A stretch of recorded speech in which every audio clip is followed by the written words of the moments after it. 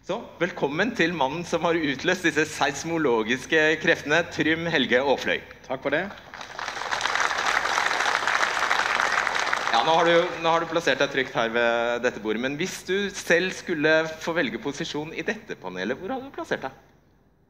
Rett i midten. Det er der vi hører hjemme. ok, greit. Men uh, hva mener dere f.eks. om å ta imot flere flyktninger til Bergen? Hva mener dere om å gi Nei, eiendomsskatt i i Ja, Bergen? la oss svare på flyktninger. Ja. Det er interessant. Jo, det er sånn at uh, regjeringen hvert år så ber de uh, hver enkelt kommune om å ta imot flyktninger til sin kommune. og Ta imot de, integrere de. Og I Bergen kommune så, var, så ble de da, i, i år bedt om å ta imot 206 flyktninger. Og så var det en debatt eh, i bystyret som vi selvfølgelig ikke var med på, for vi ikke kom dit enda. Men så var det noen som ville ha litt flere, og Frp ville ha litt færre.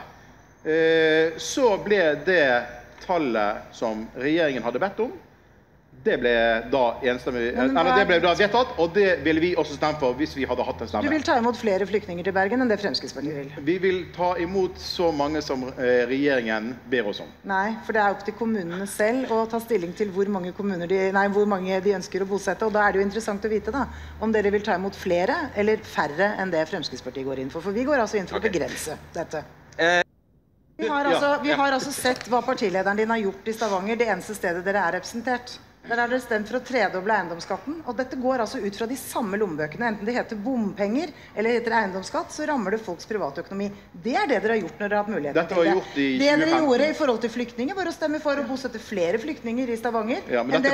Fremskrittspartiet gikk inn for. Ja, ja. Det andre dere gjorde, det var at dere har stemt mot fritt brukervalg, f.eks. i eldreomsorgen, som handler om valgfrihet og muligheten for den eldre til selv å ta stilling. Det er det vi vet okay. at dere gjør, og jeg tenker at politikk handler om mye mer, eh, og det bør dere faktisk kunne svare på. Ja, ja, ja, dette er litt, litt, grann fortegnet. Ja, vi er ikke for eh, eh, eh, brukervalg i Partilederen din mener jo åpenbart at dere ikke skal ha fritt brukervalg. Ja, men dette var i 2015. Det er ganske lenge siden. Nå har dere endret politikk. Nå har vi laget et nytt program, for at nå er det en ny, ny valgperiode. hva mener du om fritt brukervalg nå, da? Eh, brukervalg av eh, Fritt brukervalg? Eh, ja, nei, det, nei, Ja. nei, det har jeg ikke satt inn i. Men det, det var ikke det vi skulle snakke om. sant? Nei, nei, men du har... Men jeg tror kanskje velgerne er litt opptatt av dette, fordi